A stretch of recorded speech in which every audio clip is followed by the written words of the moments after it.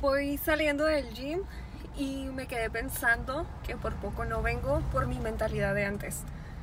Porque yo normalmente me organizo y casi siempre vengo en las mañanas, más tardar a mediodía.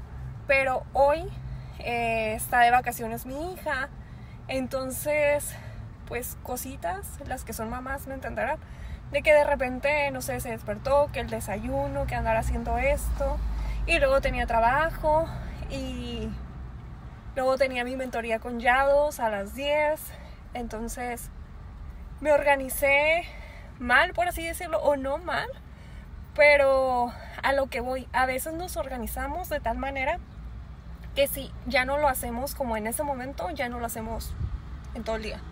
En serio, antes hubiera dicho, no, pues ya se me hizo tarde, ya no alcancé, y si no es en el transcurso de tal hora a tal hora, ya, ya no fui.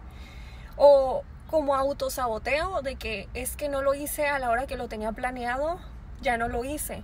Y de hecho yo soy muy así. Creo que también tiene que ver porque soy Tauro, ascendente Virgo, entonces soy como un poco cuadrada. Y si me organizo de tal manera y al final cuando me organicé ya no pude hacerlo, es como que pues ya no lo hice. Y luego nos quedamos con esa culpa de pues no alcancé. Y en el fondo te sientes mal de no hacerlo. Pero a lo que voy es de que no siempre tiene que ser así. A veces nos saboteamos y somos muy duros con nosotros mismos. Pero como ahorita dije, ok, está bien, ya no alcancé a ir a la mañana a la hora que normalmente vengo. Entonces voy al trabajo, atiendo a las dos citas que tenía, me voy en ropa deportiva y de ahí me voy, aunque sea en la tarde, en un horario que no acostumbro venir, pero lo voy a hacer. Igual también en otras cosas, como por ejemplo cuando te pones el hábito de la lectura y que dices voy a leer todos los días en la mañana. Yo normalmente leo diario y normalmente lo hago por la mañana, pero si hay veces que me salen otras cosas y si no alcancé a leer tal cual en la mañana, pues lo leo en la tarde. El chiste es hacerlo.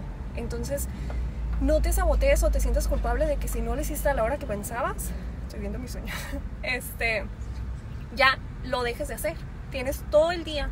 Porque si ustedes son como yo era antes, de que ya no fui a la hora que dije o, a la hora que quería, ya no lo hacen, eh, realmente reconsidérenlo. Tienen todo el día y pueden buscar otro tiempo o, o no sé, aunque sea un poquito y realmente cumplir con eso que quieren hacer.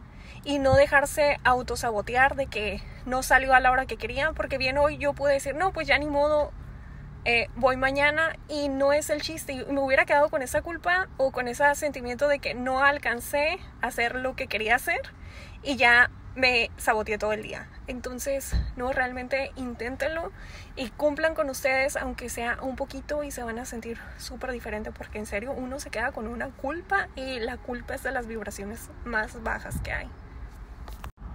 Y no me refiero nada más eh, en lo del gimnasio, sino que esto me pasó a mí ahorita y, venía pensando en eso, de que por poco no vengo, pero eso es para todo, para todo, para todo, de que a veces tienes ganas de, no sé, no, no se me ocurre nada más que la lectura o quieres hacer algo tú y al final dices mañana, mañana porque ya no alcancé, ya no alcancé y realmente no es de que no alcances, es de que si te buscas el tiempo puedes alcanzar, así ya sea estudiar, eh, practicar algo, lo que sea.